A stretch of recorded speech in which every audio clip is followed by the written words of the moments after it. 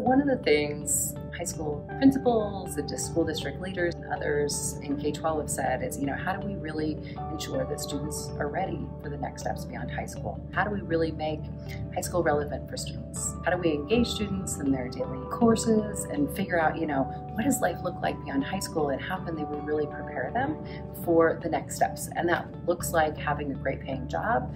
It looks like being ready for a career and going to college. And as a parent, I want my student to start earlier to think about, you know, how can they be exposed to the world of work? One of the things that's really evolved is the thought about apprenticeships. As we talk about for students and parents, right, there's some stigma or just confusion with what is an apprenticeship, right? Is it um, welding or something in the trades? And we know today's apprenticeship really cover the entire landscape of banking and business and hospitality.